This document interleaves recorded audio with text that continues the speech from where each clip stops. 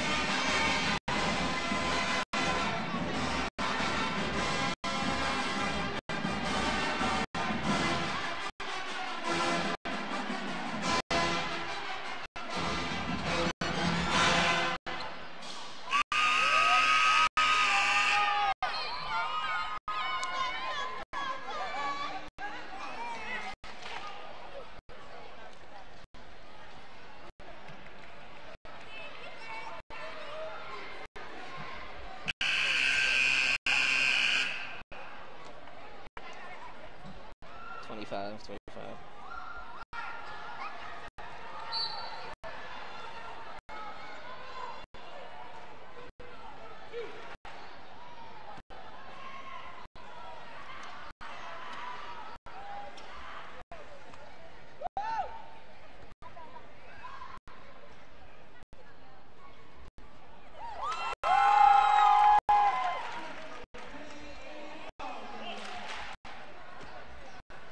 Hello, and welcome back to Joe Echols Hall as Hopkins goes to the free throw lines for two shots after the foul. The second foul called on Kevin Douglas makes the first as Alex Isolovich, Isolovich checks in for the first time, excuse me, as Hawkins nails both free throws for the Spartans. He has four points, all four coming from the free throw line, and the Spartans now trail by four, 15 to 11.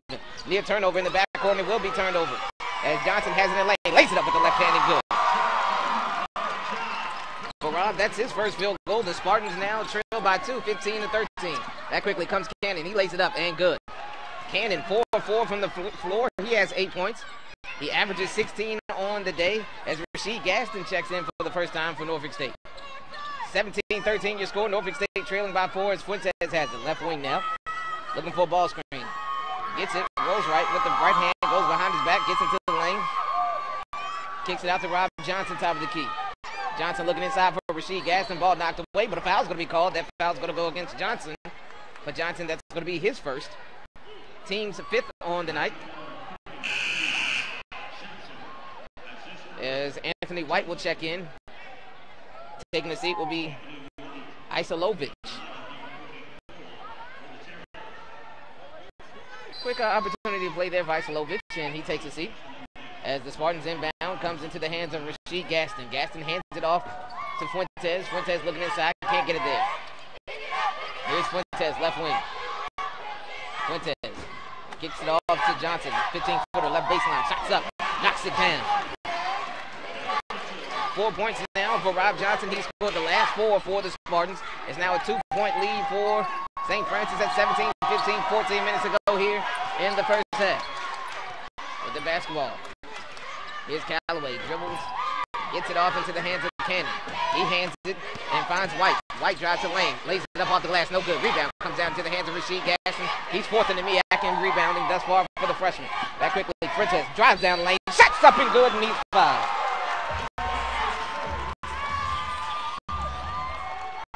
That's going to be the second field goal for Jamel Fuentes. He has four points, and we're tied up at 17 with 13, 38 left to go here in the first half. As Zaik Estime checks in, taking the seat will be Kris Brown. Also checking in for the Terriers will be Matt Milk. He will take the place of Akeem Johnson. Fuentes goes to the free throw line for one shot. It is up and it is good. Three-point play completed. The Spartans take their first lead of the afternoon at 18-17 with 13-38 left to go here in the first half.